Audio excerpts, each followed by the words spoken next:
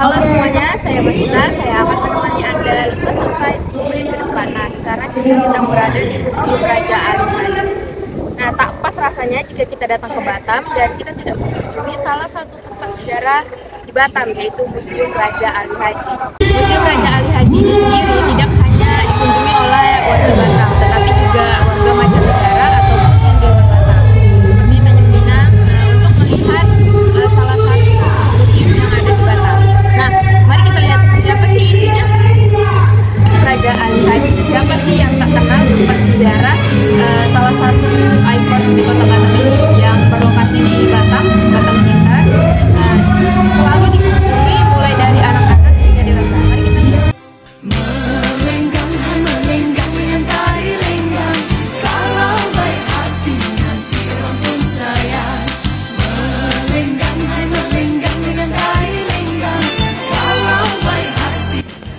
Raja Ali Batam ini menunjukkan koleksi perkembangan Batam dari masa kerajaan Ming hingga perkembangan Batam hingga saat ini.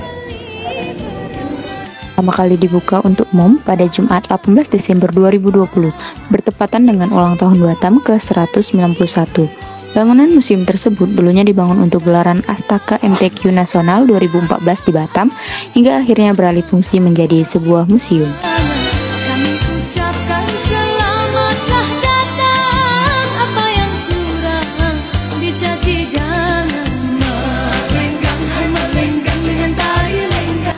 Museum ini terdapat koleksi alat musik kebudayaan Melayu seperti kompang, erhu, marwas, gendang, dan lain-lain.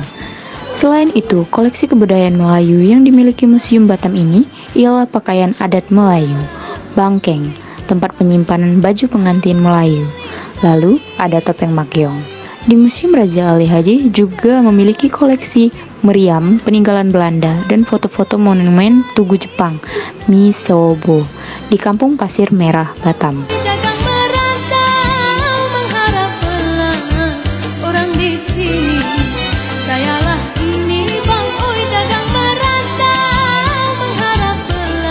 Selain koleksi perkembangan Batam, Museum Raja Ali Haji juga memiliki koleksi keramik dinasti Ming dan dua unit meriam Belanda yang didatangkan dari belakang Padang, Kepulauan Riau.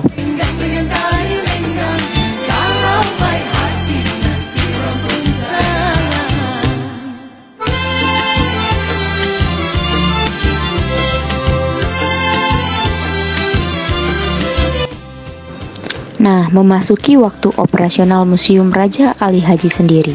Buka setiap hari dari jam 9 hingga jam 5 sore. Dan untuk biaya pengunjungan museum ini tidak ada alias gratis. Jadi buat para permisa yang ingin berkunjung ke museum ini bisa langsung datang ke Kota Batam, tepatnya di alun-alun Engku Putri Batam Center.